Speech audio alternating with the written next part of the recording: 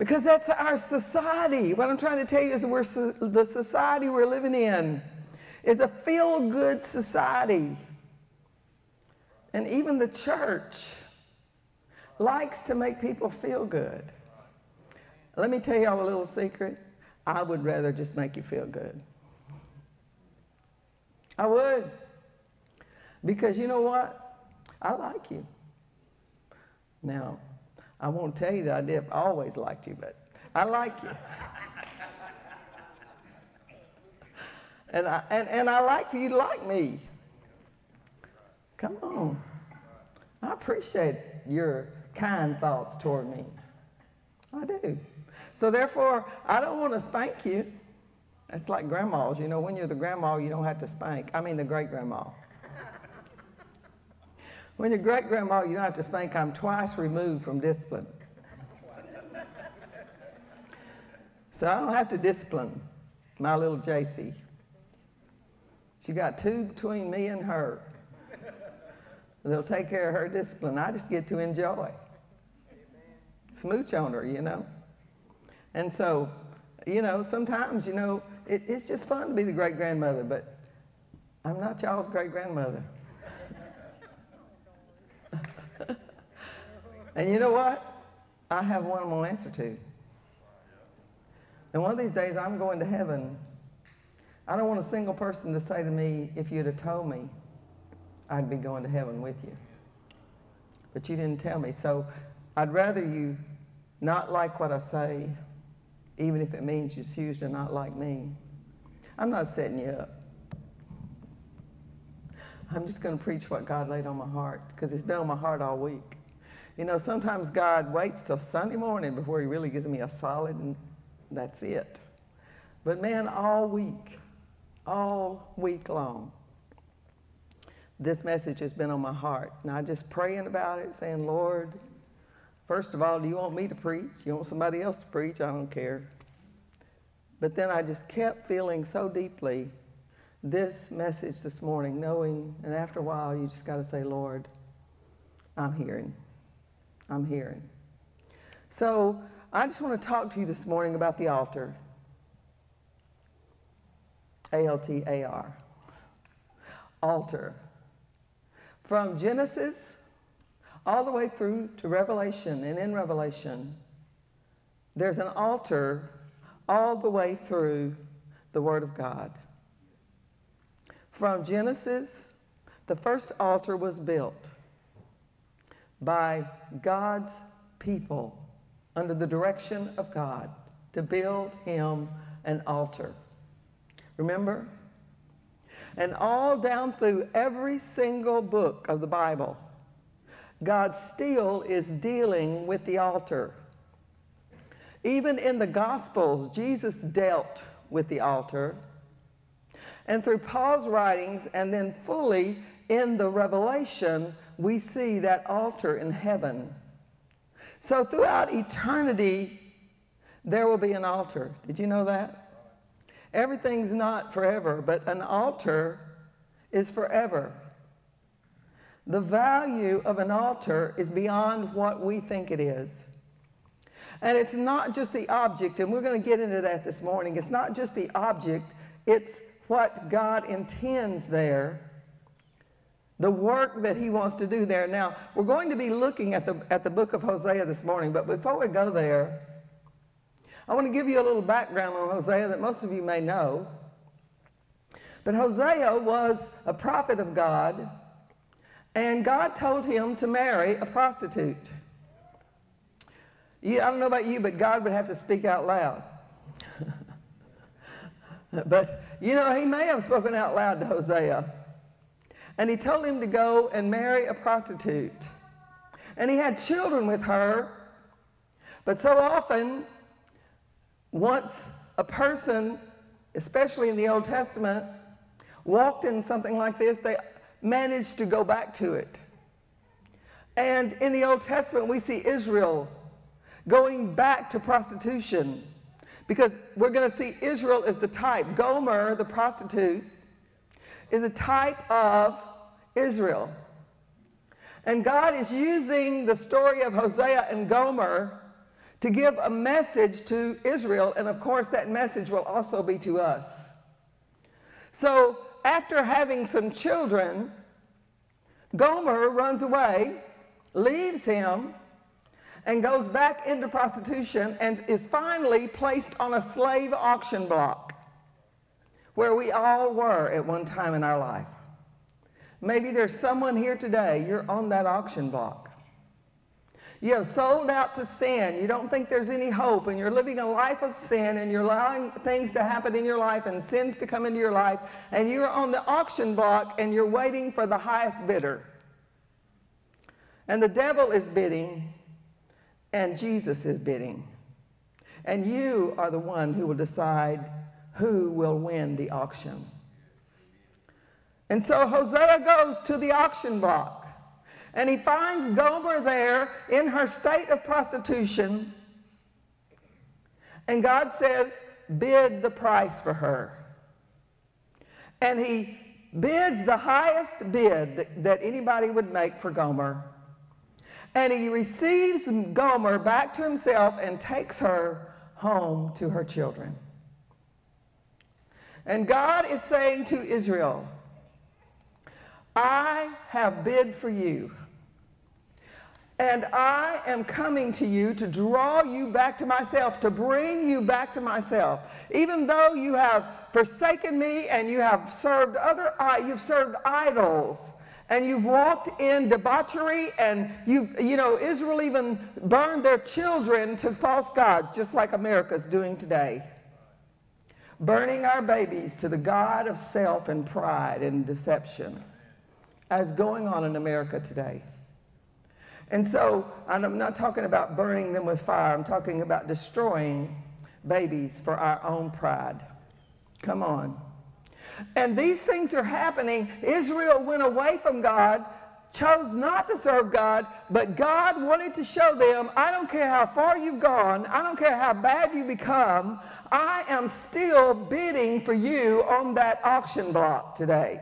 And I want you to know that no matter where you've been or what you've done, I, this is one message I want to get through to you today. I don't care what the devil tries to lie to you about. Some of you are believing the lies of the devil. That's why you won't go to the altar. You think you have failed too much. You think you have maybe you've overgone to the altar. You think I've been to the altar so many times, I'm not going back again. All these excuses that we put up in our mind to keep us from where we need to be. You know, it's like the old man that rode the horse down the path through the pasture, and there was a rack of hay sticking up there, and the horse got shied away from it. And he started carrying on, and man said, You stupid horse, you're scared of what you ought to be full of. And we're scared of what we ought to be full of sometimes, and the enemy comes in to destroy us to make us think there is no hope. That's his job, and he does a good job. He wants you to think that there's no way that God's going to take you, that God's going to change you, that God's going to use you. You're too big a mess. Some of you are in here this morning, you think you're too big a mess. I want you to know that God is in the business of taking messes and turning them into what he wants them to be, and what he wants them to be is the best you will ever be. There's no exceptions to the rule. I'm going to scan the audience this morning, and I want you to know there's not one exception in this place to the rule that God has a place for you, a plan for you. He loves you. He's calling to you. He's telling you to lay down your past, forget about your junk, quit letting the devil make excuses to you, and get out of the rut and start doing something about where you are. Reach forward into that blessing that God has for you. Quit being that Gomer that thinks there is no hope. Quit being that person that everybody's looking down on because it doesn't matter what other people think. It doesn't matter that other people know you're mess up. Come on, I'm preaching right now.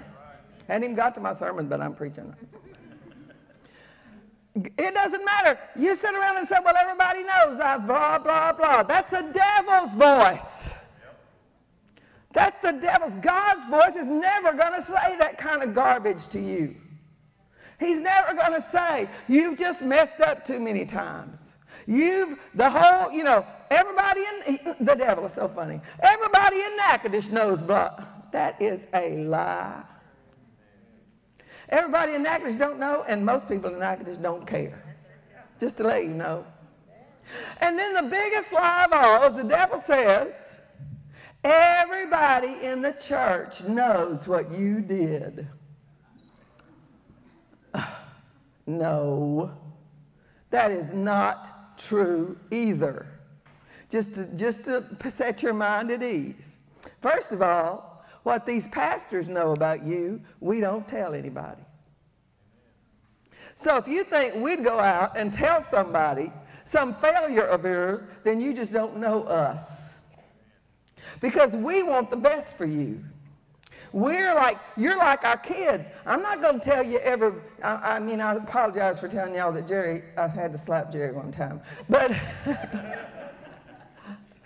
I'm not going to tell you all about my kids and, and, and, and even about my son-in-laws. I'm not going to say, oh, let me tell you about Young. You know, people come up all the time saying, man, Young is so kind. I'm not going to say, well, you just don't know him. even if it's true. it's not true. But even, you know, I'm not going to reveal anything bad about somebody in here because I love you and I want everybody in here to grow in the image of Christ. And I want to give you a second chance and a third chance and a 15th chance and a 100th chance to grow into what God wants you to be. I'm on your side. I'm, I'm the cheerleader in your section. So people don't know what's going on in your life. Almost nobody, just a handful of people may know something. And if they don't love you through it, then they are wrong. So I want you to know that God's in the buying back business. The buying back business. Somebody say hallelujah. God bought me back. Has God bought you back? He's brought us back. I'm so glad to tell you that He never thinks you're worthless. God never thinks you're a hopeless case. God never thinks you're not worth anything. God didn't think that way. It's impossible for him to think that way because he loves you greater than anybody else could possibly ever love you. So we see this scripture in Hosea where God is giving Hosea directions in dealing with the nation of Israel in the comparison of the situation with his home and his marriage. So we're going to look in Hosea chapter 14, and I'm going to read for you verse number 1 and 2. This is what God says to Israel through Hosea the prophet. O Israel, return unto the Lord thy God, for thou hast fallen by thine iniquity. Let me say that again. Israel, return unto the Lord thy God, for thou hast fallen by thine iniquity. When you go into sin and don't repent of it, you're going to fall. You're going to fall. You got to bring it to the altar. What I say? The altar. When you've sinned, you bring it to the altar. You don't run from the altar. When you've sinned, you bring it to the altar. You don't run from the altar. Come on, be honest. Don't worry about if somebody thinks you're coming to the altar because you've sinned. Maybe you have. So what? We all have. Lies of the enemy. Then it says, he's telling Israel what to say. Take with you words. I preached this a sermon this, using this a long time ago. Maybe none of you remember it. Probably not. Jada told me she forgot what Courtney said. Made me feel better because she forgot what I said too. so I know you might not remember this message. I remember preaching this sermon though. Take with you words and turn to the Lord. Say, everybody say, say. say. Unto him. Say unto him. Take away all iniquity and receive us graciously, so we will render the calves of our lips. Now, I am fortunate enough to have access to the Jewish Bible, and I read this in the Jewish Bible, and I thought how wonderful it was. Now, Autumn cannot put the Jewish Bible up there, I don't think, but I'm going to read it for you. It says, this is Hosea 14, 2 and 3 in the Jewish Bible. Isn't that interesting? Return Israel to Adonai your God. For your guilt has made you stumble. When you feel guilty, you start stumbling if you don't run to the altar. First thing to do when you're guilty, run to the altar. Run, run, run. Come on, run to the altar. Take words with you and return to Adonai. Say to him, This is what I'm going to say to Adonai, the Lord. Forgive all guilt and accept what is good. We will pay instead of bulls. This is the part I like.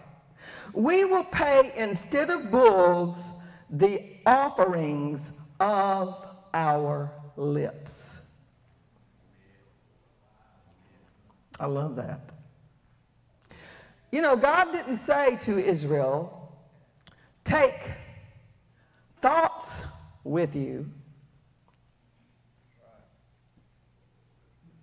Sink in. he did not say, take thoughts with you. Return to the Lord, he said. He did not say, return to the Lord and take thoughts with you. I'm making a point. I hope you listen. I'm trying to get your attention. He did not say that. He said, return to the Lord, take words with you. A sacrifice of your lips, not your brain. So often, when we come to the Lord, to the altar, I pray that you have no inhibitions to coming to the altar. Whatever there is about coming to the altar in your brain, you need to defy that by coming. If you got an attitude that says, I don't need to come to the altar, then defy that and come, because we all need to come.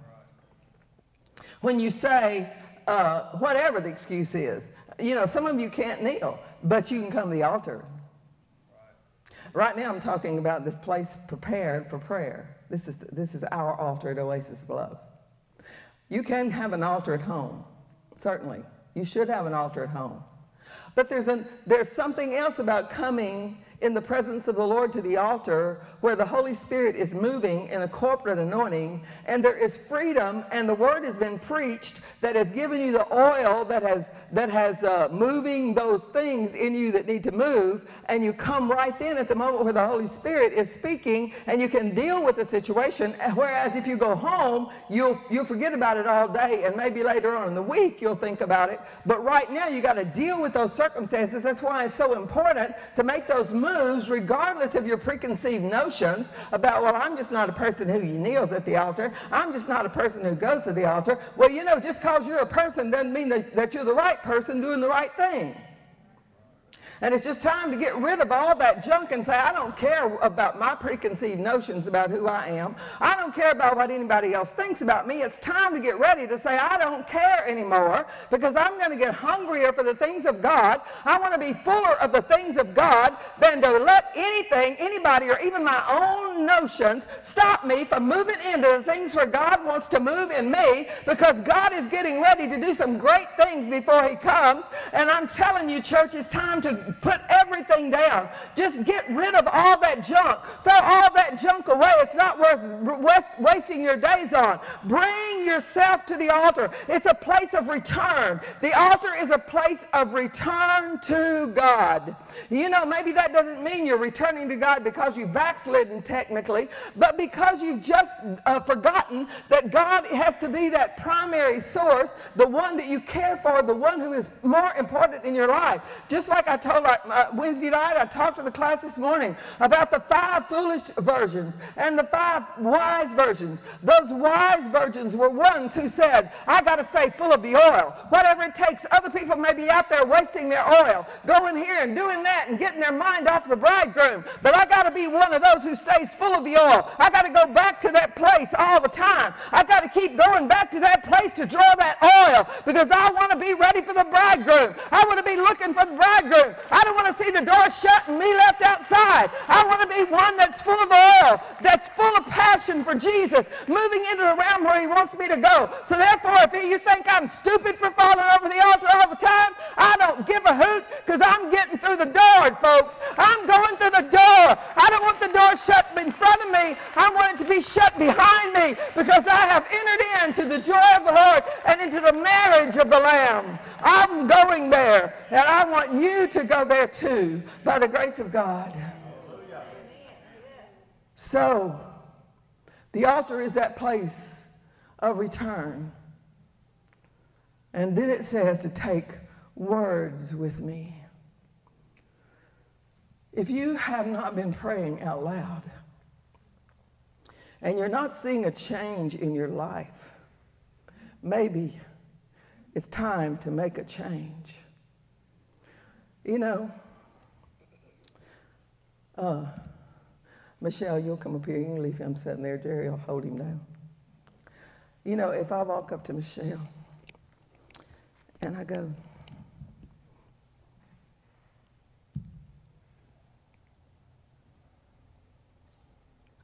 Does that say anything to you? No, ma'am. But if I say, Michelle, I really love you. And I'll tell you I love you back. And it would mean See so the much. response? Yes. See the response? I didn't ask her for that response. She gave me that response because why? Because I said, Michelle, I love you. And then I got a response. Not until I said it, though. You say, but God can read my mind. Yes, He can, but He doesn't want to. He wants to read your lips. You may be seated. He wants to read your lips. This word says, I want to bring a sacrifice of my lips, not my mind, my lips. So when I come to the altar, I got to talk to him. He's a person. He's not a thing. He's not a cloud. He's a person. Jesus is still a man, glorified man, but he's a man in heaven. Did you know that? Did you know Jesus is a man? Yes, when you see him, you're going to see his body. You're going to see him. You're going to see his hands, his feet. You're going to see him. When you see him, you're going to see him. He's not a vapor in the wind. And so when I walk up to him at the altar, I need to do the same thing I did to Michelle. I love you, Jesus. Maybe I need to say, God, I'm a mess. I am a mess. I am a failure. Maybe you have to say that. But it needs to be said. You say, somebody might hear me. Well, so what? You got to get over that mess. You got to get over that junk. You know what? Every single person in here is a mess sometime. There's not a one of us that's so perfect that we can come down and say, God, I know you're just so blessed to have me. uh, no. It don't work that way. We're so blessed to have him. And there's none of us that's worthy. It's all by his grace he makes us worthy, but we're not worthy. But we come on credit. We come because He gives us credit. He gives us freedom to come. Return to the Lord and bring words with you. Be honest before the Lord. You know, tell Him what is going on in your life. Tell Him. Don't tell everybody. You know, He'll never tell people. You, you don't want anybody to know your junk? Just tell Him because He won't tell people. Somebody else you trust might go out and tell somebody something. But you know what? He will never. He will listen to you. He won't condemn you. He will draw you. You can tell him, Lord, I messed up this week. And, I, you know, don't, don't say, Lord, forgive me for my many sins. Be honest with before God. Say, God, I, I told lies this week. I, I was wrong. I'm sorry. Change my heart so I don't want to lie anymore. Lord, I, I, I, whatever. I committed adultery, Lord. I'm wrong. I have sinned. Be honest. Don't, don't come with that pristine idea that you're so holy. We're none of us. We all need changes in our lives. We all need something. We need God to work something in us that needs to be done. And I'm telling you, church, it's time to talk to the Lord like He's a person because He is. I have found out that when I start talking to Him out loud, even in my living room, He shows up. How do I know He shows up? All of a sudden, I just feel His presence come in the room. You just feel His presence come in the room. And I'm just, you know, I got a chair I pray, and I, I recommend you find a prayer spot in your room, in your house. Find a place that you call your prayer spot. We, we called it the secret place years ago. A, a special chair you kneel to eh, in front of, a special chair you sit in. I've got a, I've got a chair in my house that's a, it takes away, you know, it puts your head way lower than your feet. That's my prayer chair. I go sit in that chair, put my feet all the way up there, turn on some godly music, some praise and worship songs, and I just start out every morning saying, I love you, Jesus. Thank you for this day and your blessings upon my life. Thank you for health this morning. Thank you that my husband's in there asleep and he's, he's still well this morning. He's going to get up in a few minutes if he hadn't already gotten up.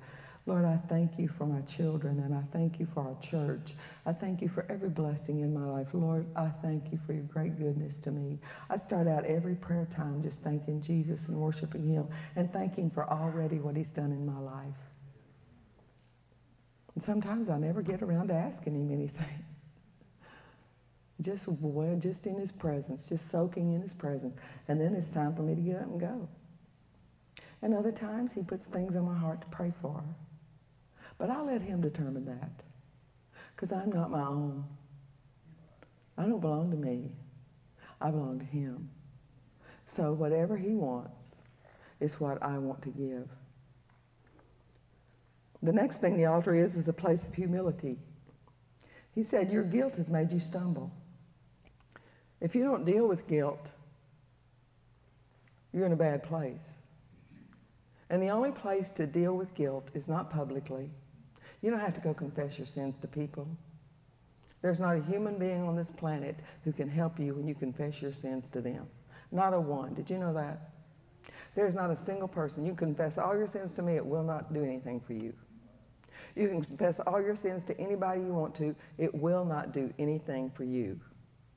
Because there's only one who bled for you, and his name is Jesus and you go strictly to the throne room of Almighty God. You have access. The Bible says when Jesus said it is finished, the veil in the temple was torn from the top to the bottom, which means that we now all, all of us have access to the throne of God. We don't have to go through anybody.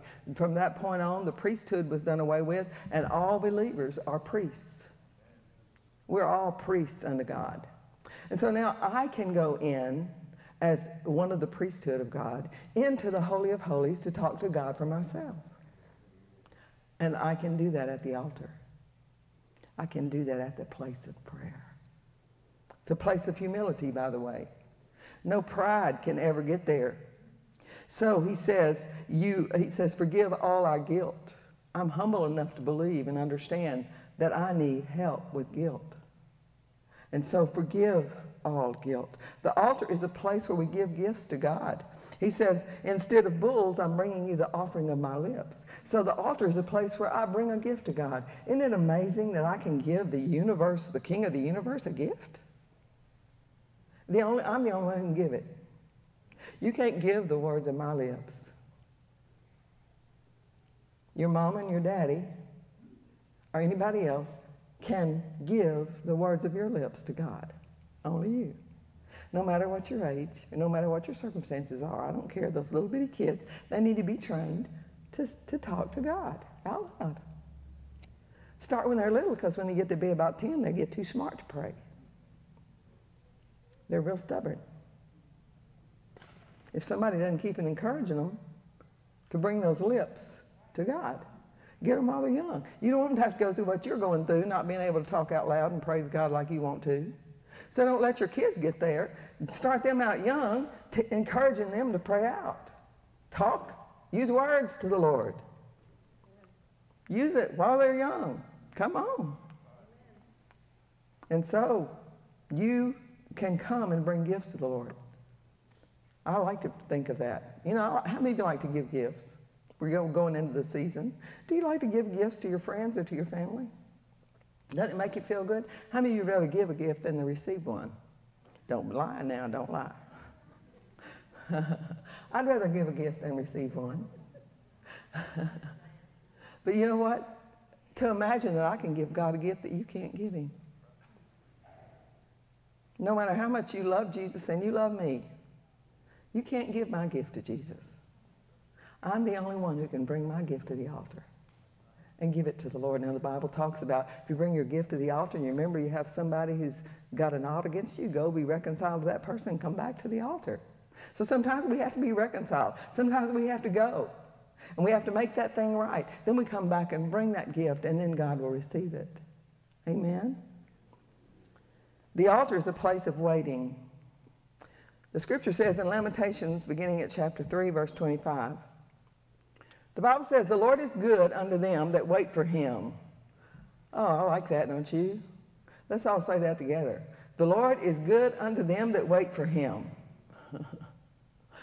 to the soul that seeketh him. Next. It is good that a man should both hope and quietly wait for the salvation of the Lord. They that wait upon the Lord. That means staying in the altar. Shall renew their strength. This is the Bible. They shall mount up with wings. Why do we not have the strength and the, and the wings? Because we don't wait. As eagles, we shall run and not be weary. Are you having? Are you weary? We can walk and not faint. Are you fainting? Teach me, Lord. Teach me, Lord, to wait. You see, the reason many Christians are weak and fainting, weary, and have no fire in their bones is because they never wait in the altars. Too busy. Some of you, like it's almost time for lunch. There'll be some of you right now that say, Man, I got to get to that restaurant. I'm hungry. God, help us to be hungry for the food, the manna from heaven, than from the natural food that we might be planning to eat today. You know, I found out in His presence I'm not hungry. Now, after I get through here and I'm out of this anointing and out of this realm of worship, boy, all of a sudden I'm starving to death. But while I'm here, I'm fine because he fills everything. So the altar is the place where you wait. You know, church, when you come, don't worry about who's getting up. People will stay here with you and lock up these doors. Perry's locking up the doors today, and I guarantee you, I know Perry Mobley, and if you want to be in the altar, he'll stay here all afternoon. And he'll pray with you. He'll be here. Because nobody's in a hurry. This is not, this is important. This is, a, this is the Lord's day. This is the Lord's day. More important than family reunions, family gatherings, family this or family that, or food or meals, this is the important time to say, Lord, put salt in my water so I'll be thirsty again. Whatever it takes, Lord, for me to be thirsty, help me, Lord, to wait. And also, the altar is a place of refreshing. The scripture says in Acts 3 and 19, Repent therefore and be converted, that your sins may be blotted out when the times of refreshing shall come from the presence of the Lord. You know, sometimes the reason the Lord can't refresh us is because we have springs in our knees or our rear end, whichever one. Some of us can't kneel, but we sit down, but about the time we get seated, we're up again and gone. You know, anytime I start praying, I always want to hurry up and get through. Y'all hear what I just said? Every time I start praying, I'm thinking, oh, well, you know, I got something to do. I, hope I can get through in a hurry.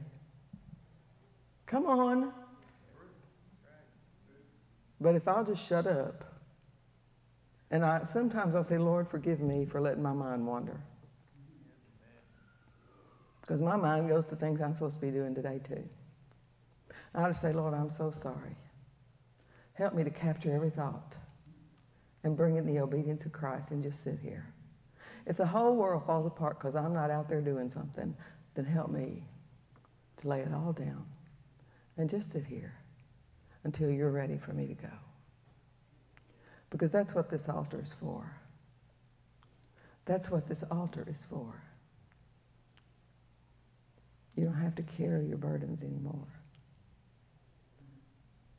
That's what the altars are for. Y'all come forward. And let me just say this. Pastor built these altars. He put together these frames, put the top on it. He also covered them with this material. He, he built these altars with his hands. He built these altars so you'd have one. That's why. He didn't build it for himself, although he uses them. He usually uses the chair, but he uses the altars. But he built these altars so you'd have an altar in this church. And so I'm telling you this morning, you have enough time. You have enough time because the time we spend with Jesus is the only important time. If you're here this morning, never would force anyone to come. If you're here this morning and you're not sure you're ready to meet Jesus, now's the time to come sit here at this altar and talk to the one who can give you the confidence and the assurance that you're ready. If you're here this morning and you just feel far away from him, just feel cold, there's a warmth at his altar.